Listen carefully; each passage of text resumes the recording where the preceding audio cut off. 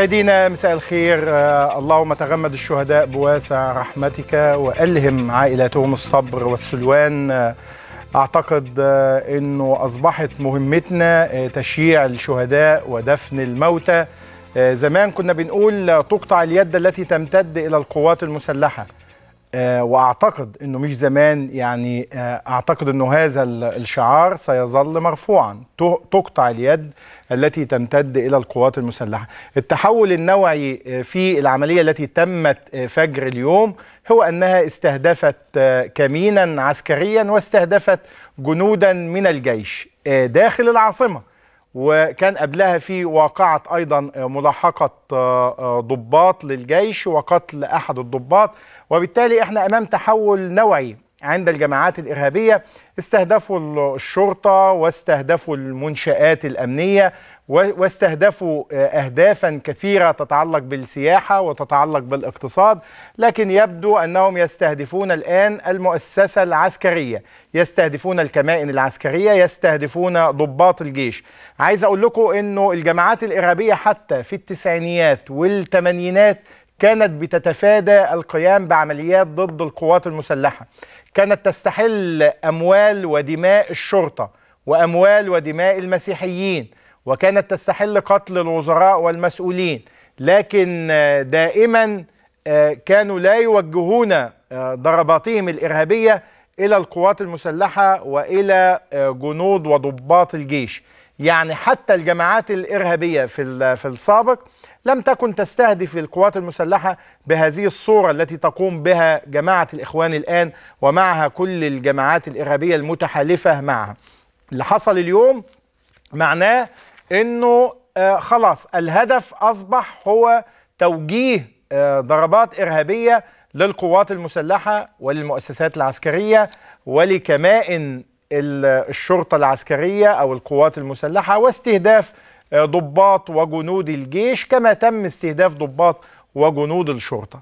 وبالتالي هنا اللي يحطم الجيش المصري والذي يطلق رصاصة على جندي مصري صحيح سينا شهدت بعض العمليات ضد جنود الجيش. لكن لما يحصل ده في العاصمة لما يحصل ده في كمين متعلق بالقوات المسلحة داخل العاصمة ده معناه إنه تحول نوعي عند الجماعات الإرهابية وعند جماعات الإخوان إنه استهدفوا القوات المسلحة واستهدفوا الجيش وأعتقد إنه القضية أصبحت واضحة الآن.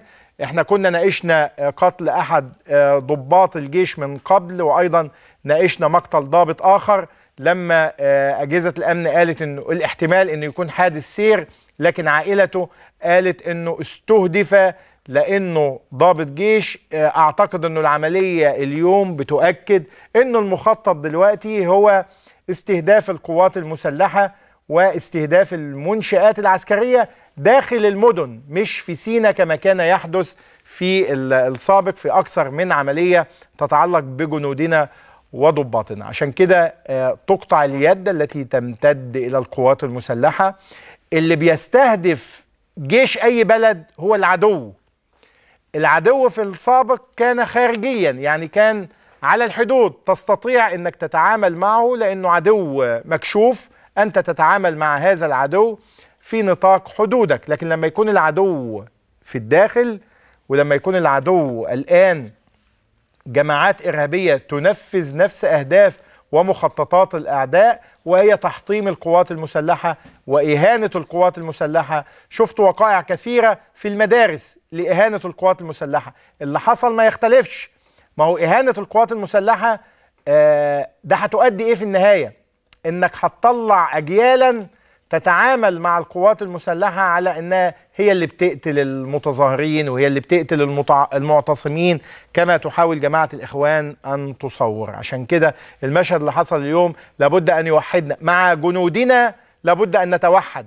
لما تستهدف القوات المسلحة لابد أن نتوحد جميعا ولابد أن يكون الهدف الأساسي هو كيف نواجه هذا الإرهاب المسلح. وبعدها يمكن آه، أن نحاسب بعضنا البعض على أي تجاوزات وعلى أي أخطاء. لكن المجتمع اليوم مطالب بالتوحد لحماية قواتنا المسلحة اللي العملية التي تمت اليوم بمثابة نقلة نوعية. معناها أن مؤسسات الجيش سوف تستهدف. معناها إنه البدلة الميري وبدلة القوات المسلحة سوف تستهدف خلال الأيام القادمة. تعالوا نشوف آه، آه، حادث استشهاد آه، ستة من جنودنا في كمين مستعد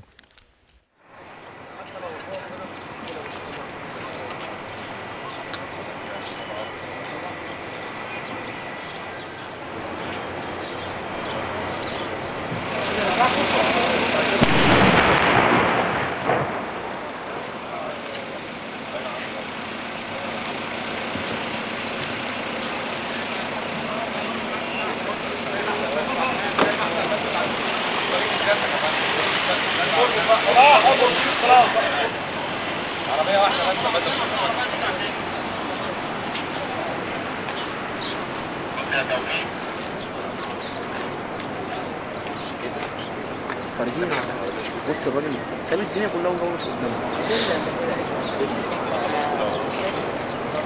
هو النايل تي في وقف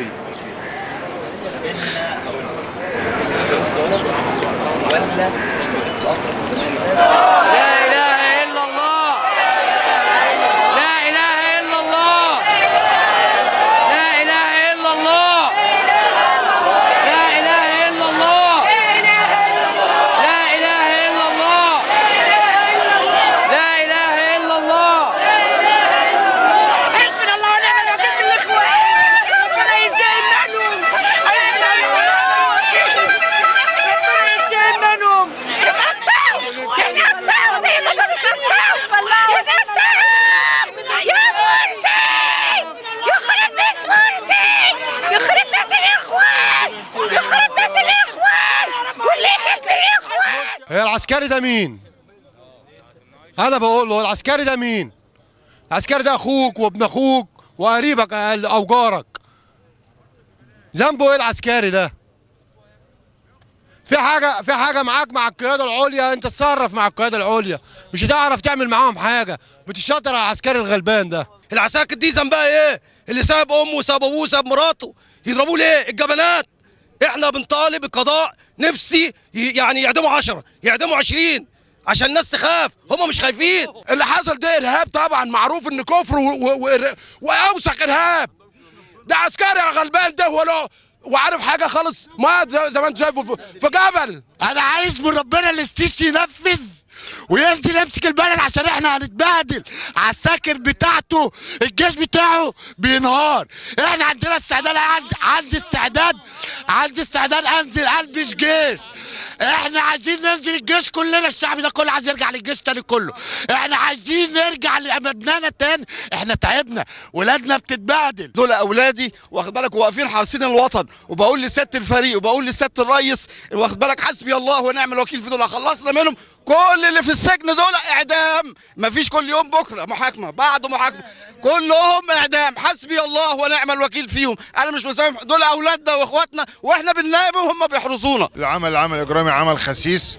برضه لازم نعرف إن العساكر كانت بتصلي الفجر في الجامع اللي مواجه لوحدة الشرطة العسكرية حاضر في وجود في وجود الناس ودخلوا بعد صلاة الفجر إلى آه، عملهم. آه، فكلهم مسلمين وموحدين بالله. ولا يمكن ولا ولا ولن يسمح دين بقتلهم خسة وغدر.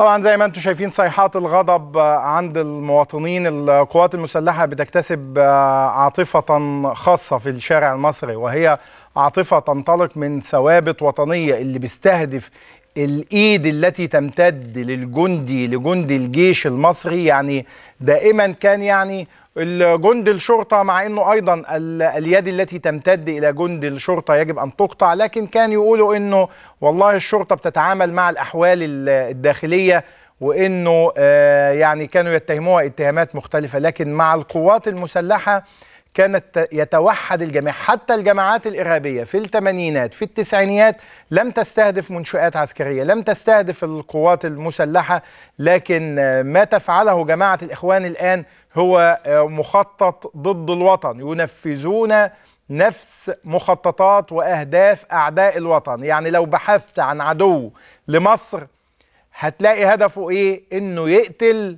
ضباط وجنود الجيش إنه يحطم الجيش. حطم هذا الجيش إنه يهين هذا الجيش إنه يحول هذا الجيش إلى آه آه لا شيء. حطم الجيش المصري واقتل الجنود والضباط. هذا هو ما تفعله جماعة الإخوان الآن. تعالوا أستعيد معاكم. يعني هنشوف واقعة تانية آه، بعد قليل لكن تعالوا أستعيد معاكم كمان مقتل أحد ضباط ال- الجيش وهي الواقعة التي كنا قد تناولناها. وأكدنا أنها يا جماعة لا تتعلق بحادث سير. هناك سيارة خلفية اعترف الأمن بأنها قامت بإطلاق الرصاص على آه، سيارته مما أدى إلى اصطدامه بأتوبيس واستشهد. عشان كده لازم نطلع نقول للناس إنه آه، ضباط الجيش الآن مستهدفون وعلينا على المجتمع كله آه، إنه يتضامن ويتوحد لحمايتهم.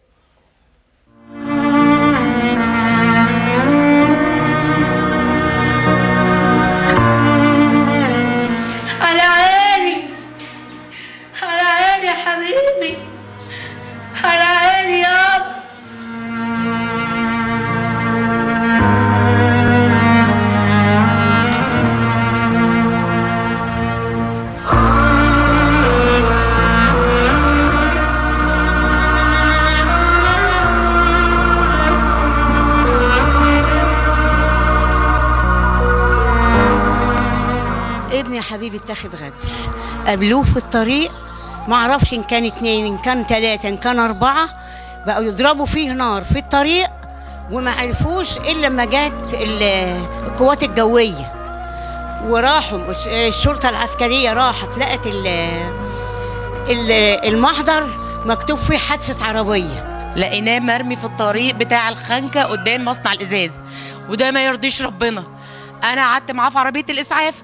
النيابة العامة والنيابة العسكرية والدنيا اتقلبت. واللي أنا سمعته إن هو اتضرب عليه رصاص في الشكمان. شكمان العربية ثلاث رصاصات ورصاصتين في النمر وده ما يرضيش ربنا. لقيت العربية طبعا متدمرة هو جثة كده ملتمينه ومغطيينه. آه كان منظر فظيع طبعا. آه كان خابط في عمود بعد المطاردة بعد المطاردة لأن المطاردة طولت قعدت حوالي نص ساعة. كان في ضرب نار أول ما الشرطة جت كانت عاملة محضر عادي إن ده تصادم وما كانش تصادم. المطاردة طولت لحد ما وصل وأمام قدام معسكر الأمن المركزي في الخنكة. اتضربوا عليه النار فضل يجري منهم يجري منهم ويراوغ بيهم وهم فضلوا قدامه. ضرب في عربية ال- المصنع وبعد كده صد في في العمود اتقلب بيه العربية وهي دي نهايته. خلاص كده؟ هو أنا هاخد منهم إيه أنا بقى؟ واولادي الأربعة اللي اتيتموا بحق مين ده كله؟ حق مين؟ الحادثة نتجت عن أثار. اثار أثار إيه؟ زي ما هم بدور الأمن. والناس بيقولوا تصادم مش تصادم دي مطاردة. والكاميرات جايبة والفلاشات بتاعة المصنع الحربي جايبة المطارده عربية جيب. وقدامها موتوسيكل ده اللي أدى لسبب الحادث الراجل كان ماشي في طريقه عادي 100 100 ضربوا عليه نار في النمر وفي الشكمان. ده اللي خلاه الحادثة سبب كده. لكن مش حادثة تلقائية. كان بيسافر مأمورات دولية جميع تبع القوات الجوية. ولسه جاي من الإمارات. ال ال ال ال القيادة المشتركة بين مصر وبين الإمارات. لسه مودي قواتنا المسلحة هناك وراجع. وكان اللي في هذا اليوم كان رايح الكونغو. يعمل مأمورات تبع القوات المسلحة تبع القوات القوات الجوية. راح يعمل يجيب حاجات. يحصل اللي يحصل ده.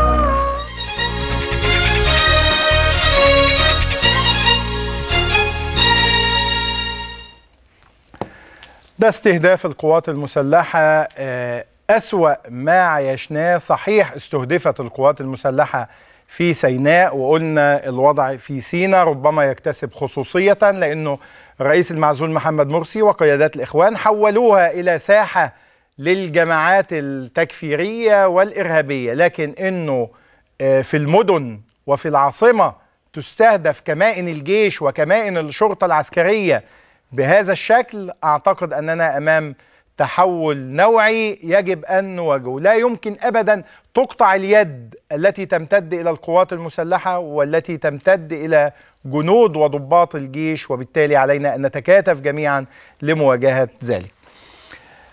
هعود لعيد الفن وعيد الفن أيضا لمواجهة الإرهاب المسلح. يعني آه، لما آه، بنستعيد هوية مصر آه، في هذا الاحتفال استعدنا هوية مصر وحتى ال- البعض داخل ال- القاعة الكلمة التي ألقاها رئيس الجمهورية المستشار عدلي منصور في إعلاء قيمة ومكانة الفن في المجتمع أثرت في النفوس ودغدغت العواطف لأنه الحقيقة استعدنا كمان مجموعة من الفنانين الذين شكلوا الوجدان المصري.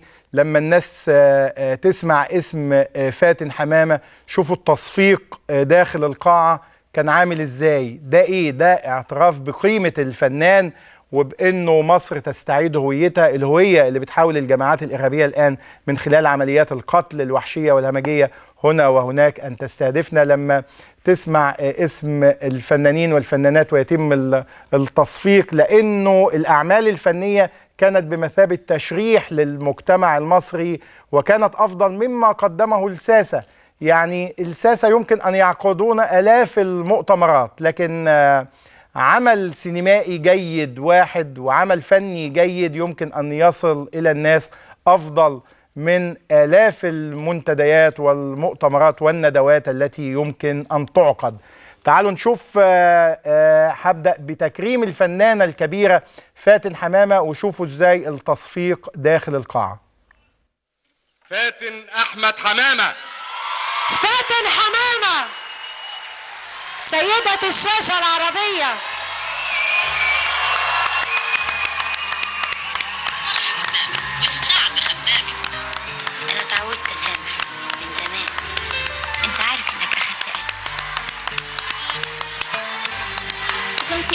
اندمج في جو كله قمار وسهر ومسخره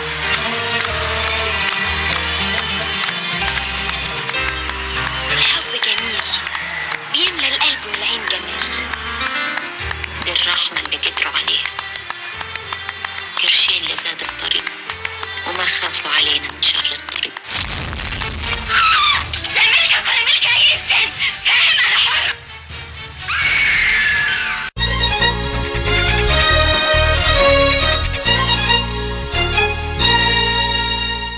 الفن يهذب النفوس ينقي الوجدان آه، من أهم مقومات الهوية المصرية.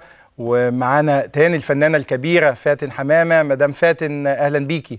أهلا بيك أستاذ وائل. مدام فاتن أنا عايز أمزج ما بين آه، آه، التكريم اللي شفتي إزاي هذه اللحظة كيف تعاملتي معها وكمان ما ما ما تعيشه مصر من عمليات إرهابية تستهدف الهوية المصرية وتستهدف تحطيم الهويه المصرية التي نحاول استعادتها وكان الاحتفاء بالفن هو آه، جزء من عملية الاستعادة. آه، اولا تع- تعليق ال- الحادثة اليوم آه، هل تأثرت بيها أيضا وأنت حدثتينا قبل كده؟ اتفضلي. حادثة فظيعة جدا ومحزنة جدا وأنا لسه شايفاها على التلفزيون دلوقتي حاجة حاجة بتتعب فمعرفش أقول لك إيه. لسه تأثيرها عليا دلوقتي. طيب آه آه لحظة التكريم. لاحظت إنه شفت إزاي القاعة آه وكأنه زلزال داخل القاعة حينما نطق باسم فاتن حمامة للاحتفاء بها. كيف تعاملت مع هذه اللحظة؟ إيه، صدقني وأنا واقفة ب- بحيي الناس أو بسلم ما كنت سامعه كل ده. ده بيحصل للبني آدم وهو واقف في اللحظة دي. ما بيبقاش سامع وطبعا مش شايف اللي قدامه لأن الأنوار كلها في عينيه وبتبقى ضربات القلب بتزيد قوي يعني الحقيقة بعد اللي أنا شفته دلوقتي أنا مش قادرة أتكلم لا في حفلة ولا في سعادة ولا في أي حاجة. فسامحني. آه. لا أنا أنا أنا معاكي لأنه إحنا الحقيقة بنستعيد هوية مصر أيضا. بال بالفن يعني. بس خليني أسأل حضرتك أنت ف... أنت فضلتي تطلعي على المسرح من من قاعة جانبية؟ آه, آه فضلت إنك تكوني في قاعة جانبية جنب المسرح يعني. أيوه أيوه. طيب مدام فاتن إحنا قلنا آه نعيد تهنئتك عشان نقول للناس بس ده قيمة الفن المصري والفن سيواجه الإرهاب المسلح مع المجتمع كله. بتوجه لحضرتك بالشكر ألف شكر. طبعا هي السيدة يعني متأثرة. مش عايزة حتى تتكلم عن أي احتفال آه لكن أنا بقول إنه آه لما بنتكلم عن الفن كأحد أسلحة مقاومة الظلام وأحد أسلحة مقاومة الإرهاب الفن آه والثقافة وعودة المجتمع المصري إلى طبيعته. عشان كده اللي بيعمله الإرهاب سينتهي. وعايشنا إرهاب الثمانينات والتسعينيات. إيه اللي حصل؟ اكتشفوا في النهاية إن الصدام المسلح مع السلطة فاشل. فاشل. مفيش جماعة إرهابية أبدا اقتنعت خلال الثمانينات والتسعينيات بإن في نتائج تحققت من الصدام المسلح مع السلطة. فشل الصدام المسلح مع السلطة وهيفشل وهم يعلمون ذلك جيدا. طب لماذا إسالة الدماء بهذا الشكل؟ لماذا استنزاف المجتمع؟ لماذا محاولة تنفيذ مخططات الأعداء لما يكون العدو في الداخل؟ هذا هو الخطر.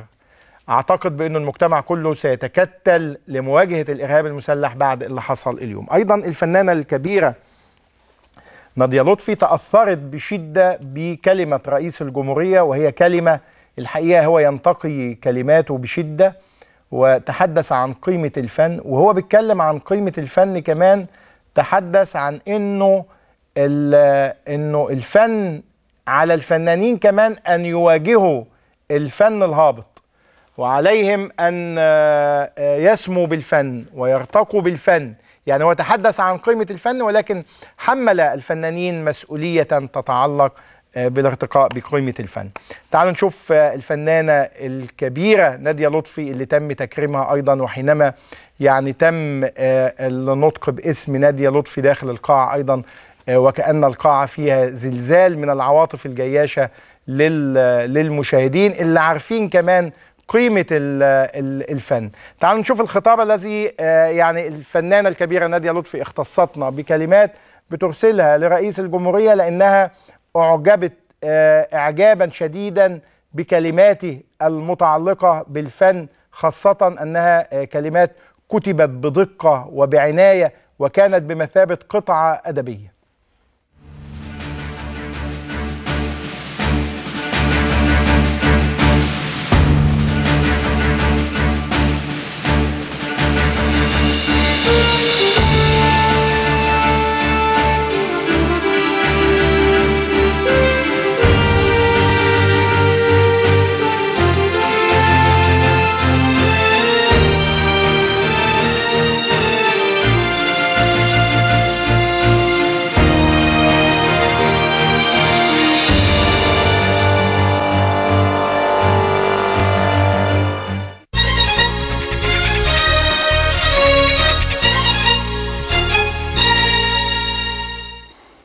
الكلمة اللي كتبتها الفنانة نادية لطفي آه لرئيس الجمهورية آه بقولها لكم آه من تاني. فخامة السيد المستشار عدلي منصور رئيس الجمهورية تشريف فخامتكم بعيد الفن هو الوسام الأعلى على حضورنا جميعا. وجاءت كلمة معاليكم الرائعة الراقية دستورا جديدا للإبداع والمبدعين. حماك الله وحفظك لمصرنا. نادية لطفي بولا محمد شفيق سابقا.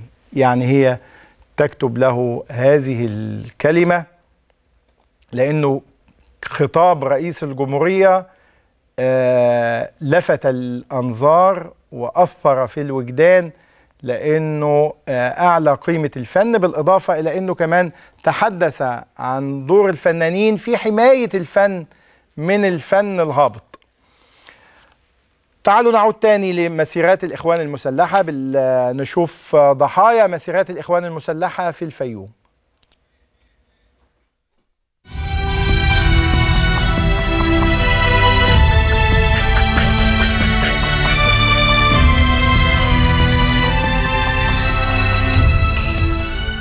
تقدموا لي يعني شفويا كده قالوا ده في لبن المفروض إن هو يعني جه قبل اجازه الأجازة وحاجة زي كده فطبعا ممكن يكون انتهى صلاحيته.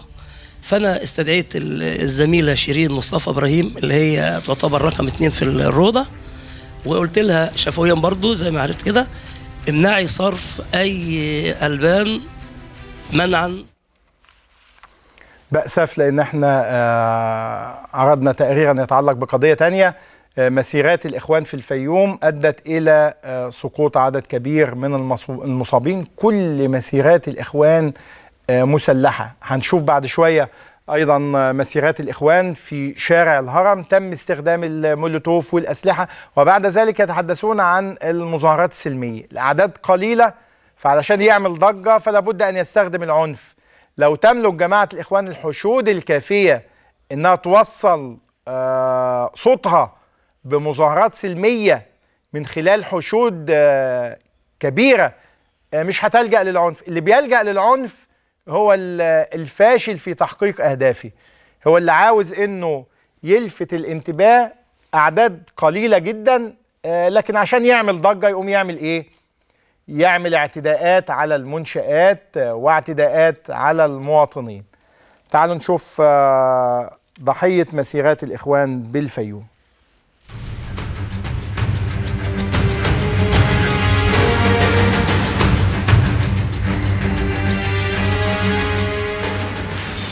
ده كان في مسيرة ماشية من فوق الكوبري للإخوان. ورافعين علامة رابعة. رحنا إحنا عاملين لهم علامة السيسي عملنا لهم كده. واحد كان معاه شنطة حمراء. ومعاه ملوش في كله من اللغم. راح مطلع الآية منا وضرب علينا نار. أيوه جاب لي واحدة بطاري طلعت من بطني. وكان معايا طب واحد برضه صابه في رجليهم. هو المصاب وصل المستشفى في حالة سيئة جدا. واخد طلق ناري آه، من الجنب ال- اليمين من البطن وتم آه، عمل الإسعافات الأولية ليه وتم استدعاء آه، طقم جراحي من كبار أخصائي الجراحة ونواب الجراحة بالمستشفى وقاموا بإجراء عملية استكشاف للبطن وعمل الإصابات اللي كانت موجودة كان في نزيف داخلي وكان في تهتك في الكبد وكان في تهتك في الحوصلة المرارية وتهتك في القولون وتم استئصال الحوصلة المرارية وكان آه، وتم السيطرة على النزيف وكانت الحالة سيئة جدا وبالرغم من هذا الحمد لله العيان آه، الحالة العامة آه، في تحسن كويس جدا. ولكن يوجد بعض المشاكل في العمود الفقري. آه، بعد الحالة ما تستقر وتبقى آه، مستقرة هنضطر نحوله لاستشاري جراحة مخ وأعصاب في أحد المستشفيات المتخصصة. هو طلع من البيت ورايح مع أصحابه يصلوا وشوية وأصحابه رنوا عليه علينا على أبوه وقالوا له مصطفى الصف المستشفى خدنا خدناه ودانا المستشفى جينا لقينا مصطفى قعد في العمليات خمس ساعات.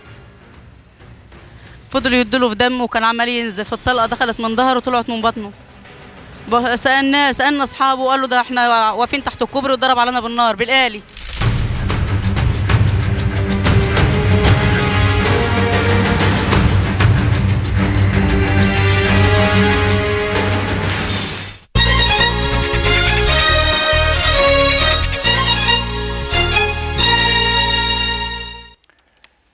ده آه، مسيرات الإخوان في الفيوم. آه، هنشوف آه، مسيرات مختلفة للإخوان أيضا. كل المسيرات المسلحة بيتم فيها سقوط عدد كبير من الضحايا في كل مكان. طيب تعالوا نشوف أيضا من القضايا الاجتماعية. لما يسقط سور سور ويموت خمسة في سقوط سور مقهى. ناس قاعدة على مقهى. وفي سور يتعلق بمركز تجاري يقع عليهم. يعني تخيلوا يعني كمان إذا كنا في العمليات الإرهابية بنفقد ضحايا لكن كمان يعني تخيلوا أنتوا الموت المجاني بهذا الشكل ناس تبقى قاعدة على مقهى ويسقط عليها سور وتموت بهذا الشكل المأساوي.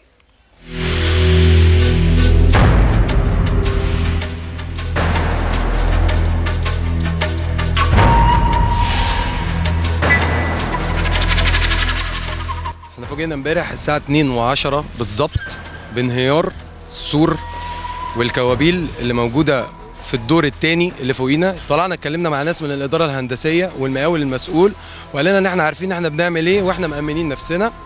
امبارح فوجئنا بنصب سقالة خشبية. بعد ما نصبوا السقالة الخشب دي السقالة الخشب دي خدت الكوابيل اللي هي موجودة فوق اللي هي اللي متحملة على السور. وقعت ده نتيجة قطعه لحديد السقف. فالكوابيل خدت السقالة الخشب بالعمال ونزلت على رواد المكان وكانت نتيجة الكارثة اللي إحنا شفناها الخم... الخمسة اللي ماتوا الاثنين اللي كانوا على السقالة و... والثلاثة اللي كانوا قاعدين اللي كانوا قاعدين تحت. طلعنا لهم مرة واثنين وثلاثه ما حدش بيقتنع بالكلام ما حدش هنا خالص. ذنب إيه الناس اللي مات ابو عيال ده؟ وزميلي ده شغال يوم بيوم رزقه يوم بيوم. مصيره إيه ده؟ ومصير عياله إيه؟ اللي لسه عنده طفل ثلاث سنين.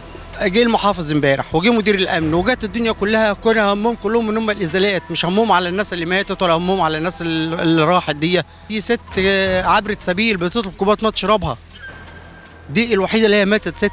دي كارثة كارثة كارثة. طلعت طلع من المحل من عندي طلعت بره يا دوبك ما كملتش يعني.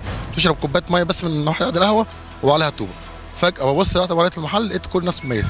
تقطع بقى الإنصاص والناس كلها متبهدله يعني قعدنا بتاع ساعة ونص نتصل بإسعاف ونجدة ما حدش راضي يرد علينا. طلعنا بعض الناس أحياء ها؟ ماتوا مع بال ما الإسعاف جات لهم. لو هنيجي للحق اتحاد ملاك السوق هو السبب. لأنه مش عارف مين اللي اشترى ومين اللي باع. إحنا قاعدين بنقولوا مين اللي اشترى مين صاحب السوق مش عارفين. إحنا ما عرفناش مين عنده دم الناس دي. كان شوية صناعية اللي اتمسكوا الصناعيه ما لهمش ذنب. هم بيقول لهم هدوا هدوا. ده شغل مقاول؟ لأن فتح الله ما عندوش أي حاجة ولا عندنا آلات آه، هدم ولا ردم ولا أي حاجة من الحاجات دي. ده شغل مقاول جه خلص الحاجة بعاملين وهو المفروض يشغلها ب 10 هو وفر لنفسه والنيابة طلعت لل- للمقاول ده مدان أنا ورقة فتح الله والورقة عندي لو عايزين تطلعوا تعاينوا تعالوا اتفرجوا المكان عندي. أنا بعيد عن المكان ده خالص. مش تبعنا خالص. واللي كان شغال ده إحنا عارفين إن في مقاول شغال. أنا بحمل مسؤولية لاتحاد الملاك بتاعت المول التجاري.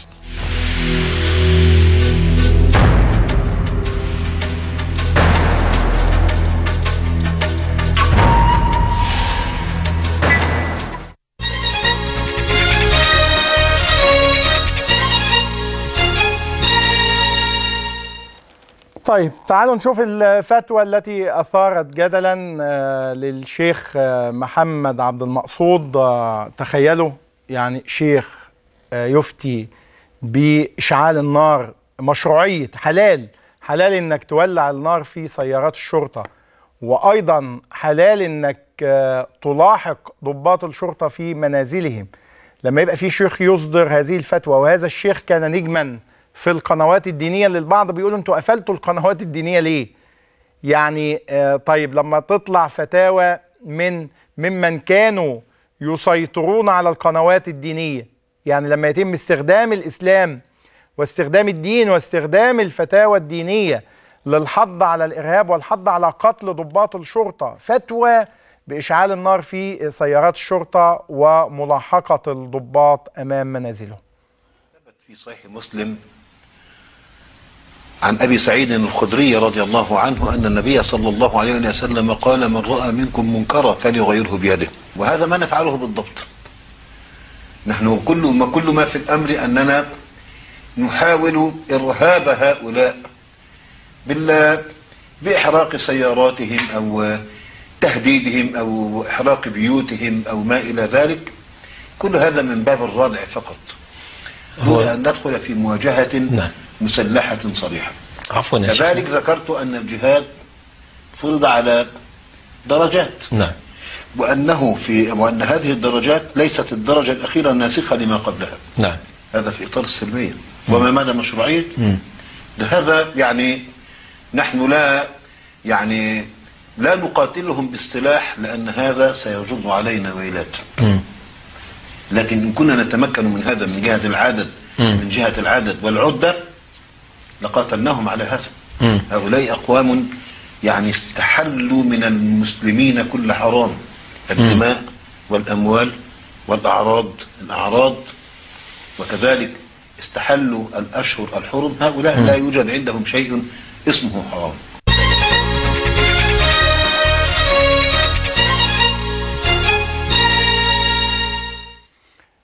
ده الشيخ محمد عبد المقصود. آه، اللي كان أحد نجوم القنوات الدينية. آه، طبعا هذه الفتوى أثارت جدلا شديدا وغضبا أشد. آه، بعد الفاصل هيبقى معانا آه، المهندس أحمد زكي عابدين وزير التنمية اللواء أحمد زكي عابدين وزير التنمية المحلية السابق. مهم جدا إن إحنا نفهم ال- المحليات ماذا فعل بها الإخوان. الاخوان عملوا إيه؟ في المحليات بالإضافة إلى إنه إيه اللي ممكن نعمله في الأيام القادمة؟ لإنه المحليات آه، منطقة لعب في الانتخابات. الانتخابات هتلاقوا فيه كيف يمكن أن تمارس الألاعيب من خلال المحليات. وهنتكلم كمان هل كان في اخونه ولا لا. وبعدها أنتوا عارفين إنه الشيخة موزة كذبت الدكتور سعد الدين إبراهيم وقالت إنه أنا آه، لم أفوضه بالإتصال بال- بالقوى السياسية والوطنية المصرية للمصالحة. ده نقلا عن لسان أحد مستشاريها. يبقى لازم نجيب تاني الدكتور سعد الدين إبراهيم ونسأله آه، أسئلة تتعلق بهذا التكذيب وهذا النفي. لأنه ربما تكون الشيخة موزة بتستخدم شخصا ولما تلاقي المسألة لم تنجح تقوم تعمل تعمل إيه لما تلاقي المسألة لم تنجح؟ إنها تتنصل منها. وتقول إن أنا لم أكلفه لكن لو كانت نجحت هي وجدت إنه آه، ما قام به الدكتور سعد الدين إبراهيم آه، جاء بنتيجة سلبية وكتل المجتمع المصري من جديد في مواجهة آه، قطر وقوبل بالرفض الشديد. يعني كيف يمكن إنك تتفاوض أو إنك تقول في مصالحة بين مصر وقطر؟ بينما قطر تتآمر يوميا على مصر. وهنجيب لكم كمان إنه حكاية إنه قطر قامت بترحيل المطلوبين آه، من الدوحة. ده ليس صحيحا. آه، لا هنشوف مشاهد لبعض المطلوبين ما زالوا موجودين في قطر. بعد الفاصل هنكمل معاكم.